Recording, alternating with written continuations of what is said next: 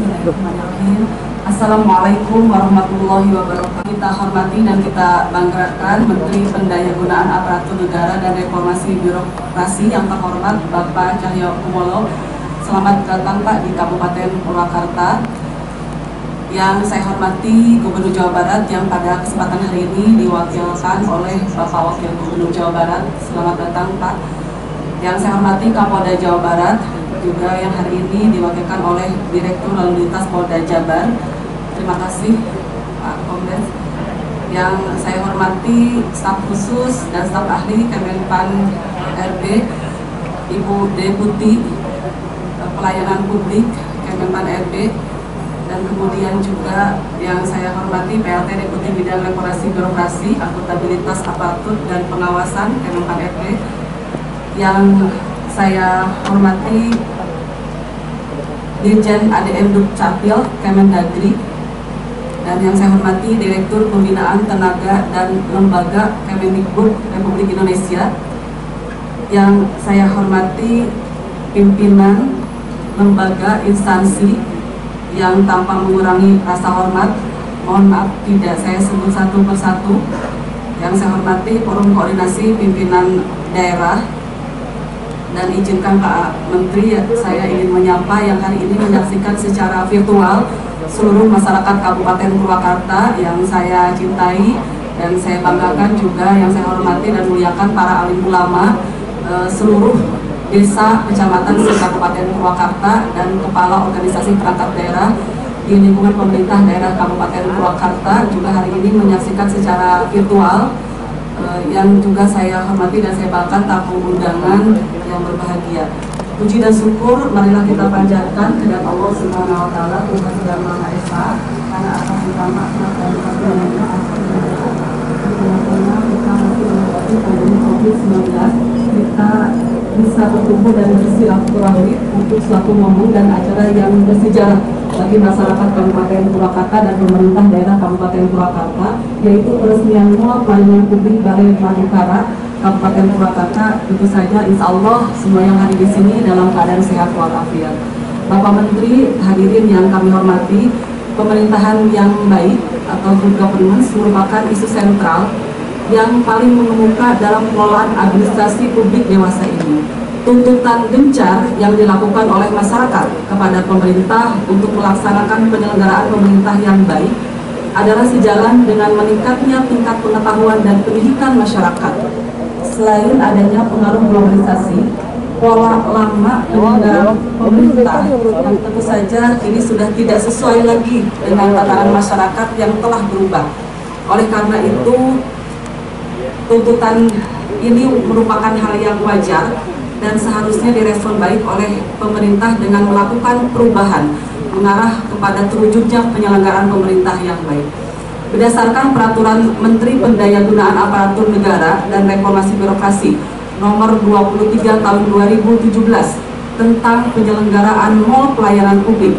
Salah satu upaya yang dilakukan adalah dengan menyelenggarakan mall pelayanan publik yang lebih progresif, memadukan pelayanan dan pemerintahan pelayanan dari pemerintah pusat, daerah, dan swasta dalam satu tempat serta menyatukan pelayanan publik lintas kewenangan yang pada umumnya sulit dilakukan karena struktur birokrasi.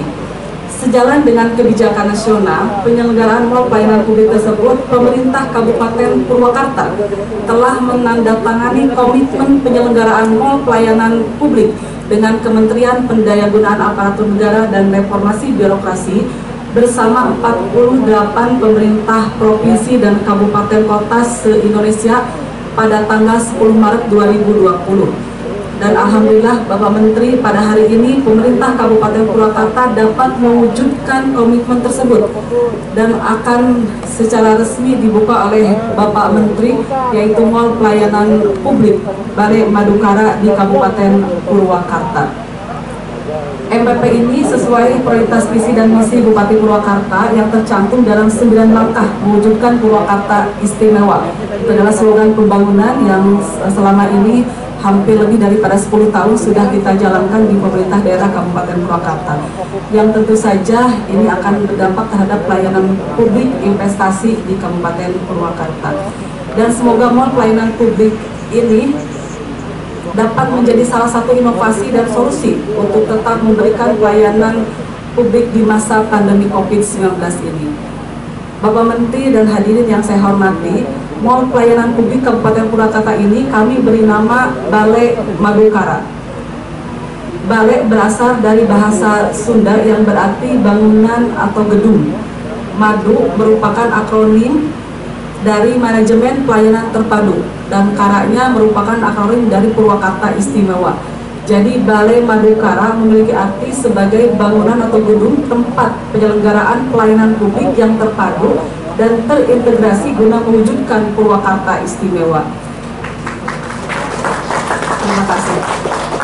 Nama Madukara sendiri berasal dari seni pewayangan yang sengaja diambil karena wayang dan juga batik sebagai warisan budaya dunia dari Indonesia dan kami juga e, menggunakan e, tema pewayangan dan batik ini kita gunakan menjadi elemen estetika yang mewarnai Balai Madukara khususnya berupa ornamen wayang golek dan batik khas Purwakarta dan ini tentu saja sejalan dengan upaya kami dalam menerapkan dan melestarikan nilai-nilai kebudayaan Indonesia khususnya kebudayaan Sunda dalam kebijakan pembangunan yang kami jalankan selama ini di Kabupaten Purwakarta. Dan Bapak Menteri, Alhamdulillah upaya kami tersebut telah mendapatkan apresiasi dengan diberikannya penghargaan Anugerah Kebudayaan Indonesia tahun 2020 dari dari Kementerian Pendidikan dan Kebudayaan Republik Indonesia sesuai keputusan Mendikbud RI nomor 1024 garis miring P garis miring 2020 tanggal 25 November 2020 Semoga penghargaan ini bisa memacu kami untuk terus berkarya dalam melestarikan nilai-nilai kebudayaan sebagai jati diri bangsa. Bapak Menteri, hadirin yang saya hormati, Mall Pelayanan Publik Kabupaten Purwakarta memiliki slogan Madu Balai Madukara Pelayanan Kesatria. Pelayanan Kesatria merupakan akronim dari kata kolaborasi, satu pintu rekreatif, inovatif, dan amanah. Harapan kami di Balai Madukara ini dapat terjalin kolaborasi antar instansi, kerjasama dan kerja bersama, terintegrasi dan terpadu satu pintu, memberikan pelayanan yang rekreatif, menyenangkan, tidak monoton dan berbelit-belit, selalu berinovasi untuk meningkatkan kualitas pelayanan yang prima, serta memegang teguh prinsip amanah dalam memberikan pelayanan kepada masyarakat. Di, di Balai Madukara ini terdapat pelayanan dari 34 instansi terdiri dari 10 instansi pemerintah pusat dan pemerintah provinsi, 16 perangkat daerah di lingkungan pemerintah daerah Kabupaten Purwakarta, dan 8 instansi BUMN dan BUMD yang akan memberikan kurang lebih 185 jenis pelayanan kepada masyarakat. Di antaranya adalah layanan perizinan dan non-perizinan, administrasi kependudukan, penerbitan paspor, taspen, pembayaran pajak, dan retribusi, serta layanan lainnya. Hal ini tentunya akan memberikan manfaat kepada masyarakat untuk mendapatkan pelayanan dalam satu tempat dengan mudah, cepat, terjangkau, aman, dan nyaman. Bapak Menteri, hadirin yang kami hormati, di Balai Madukara ini terdapat sejumlah inovasi pelayanan. Di antaranya terdapat pojok baca digital atau kami sebut dengan istilah Pokadi yang merupakan sumbangan dari Perpustakaan Nasional Republik Indonesia. Alhamdulillah Bapak Menteri beberapa hari yang lalu kami juga telah mendapatkan penghargaan sebagai Dinas Perpustakaan Kabupaten Kota terbaik dalam implementasi program transformasi perpustakaan berbasis inklusi sosial dari Perpustakaan Nasional Republik Indonesia. Semoga penghargaan ini dapat memacu kami untuk terus berupaya meningkatkan budaya literasi masyarakat di Kabupaten Purwakarta.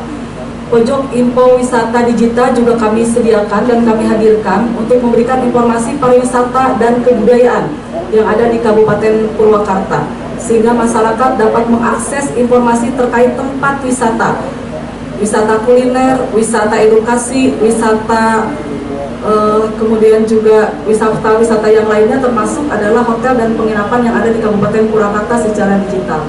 Selain itu terdapat layanan Mustika Madukara. Nah ini Mustika Madukara ini Bapak Menteri merupakan akronim dari kemudahan istimewa pernikahan. Layanan ini merupakan layanan terpadu dan terintegrasi berupa kemudahan bagi pasangan calon pengantin khususnya dari masyarakat kurang mampu baik yang sudah melaksanakan tetapi belum tercatat maupun yang akan melaksanakan akad nikah ini akan dipilih dan mendapatkan pelayanan istimewa dari sejumlah instansi terkait di antaranya Pengadilan Agama, Kementerian Agama, dan pemerintah daerah Kabupaten Purwakarta. Kemudian ada pun biaya yang eh, sesuai dengan peraturan dan undang-undang itu akan juga di, kemudian dibayarkan atau ditangguhkan kepada pemerintah daerah Kabupaten Purwakarta. Bahkan bagi pasangan yang baru menikah, ini ada pelayanan khusus dari Balai Madukara Bapak Menteri Eh, hitung-hitung bulan madu kita akan memberikan fasilitas hotel menginap satu malam di uh, hotel yang ada di Kabupaten Purwakarta. Bapak Menteri, kehadirin yang kami hormati, dan tentu saja kami menyampaikan ucapan dan penghargaan yang setinggi-tingginya khususnya kepada Bapak Menteri yang hari ini sudah berkenan hadir. Mari kita doakan beliau untuk sehat selalu, Kemudian juga tentu saja saya tahu bahwa e, beliau sangat padat jadwalnya, tetapi berkenan untuk hadir di tengah-tengah kita semua dan langsung disaksikan secara virtual oleh masyarakat Kabupaten Purwakarta. Terima kasih atas dukungan kemudian selama ini Pak akhirnya MPP ini bisa juga hari ini diresmikan oleh e, Bapak.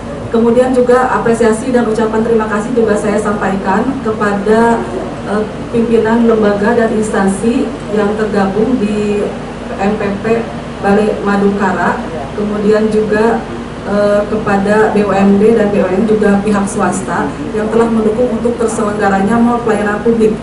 Kami mengajak seluruh stakeholder untuk ikut melanggengkan mall pelayanan publik ini, menjaga dan merawat bersama, membangun sistem kerja dan sinergi yang utuh, mengubah budaya kerja dengan melayani dan menampilkan wajah birokrasi yang mengadopsi the new public service sehingga benar-benar mempresentasikan kehadiran negara untuk memberikan manfaat luas bagi kepentingan dan kemakmuran masyarakat.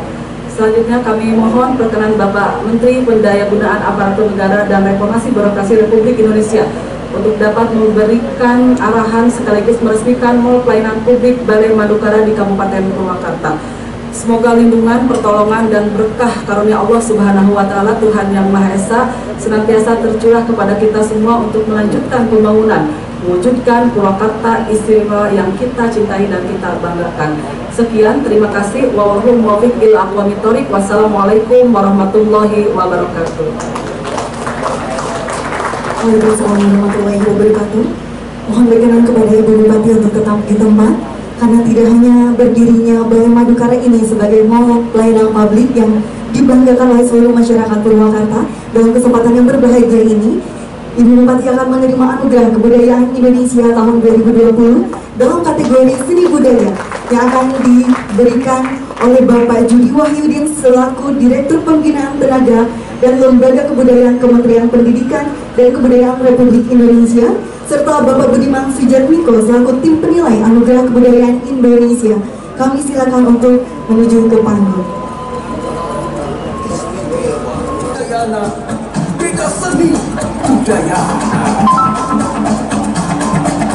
Ibu Mahdi yang berbahagia, inilah penyerahan pin emas 22 karat sedang 5 gram dan piagam penghargaan dengan anugerah kebudayaan Indonesia tahun 2020 dalam kategori seni budaya.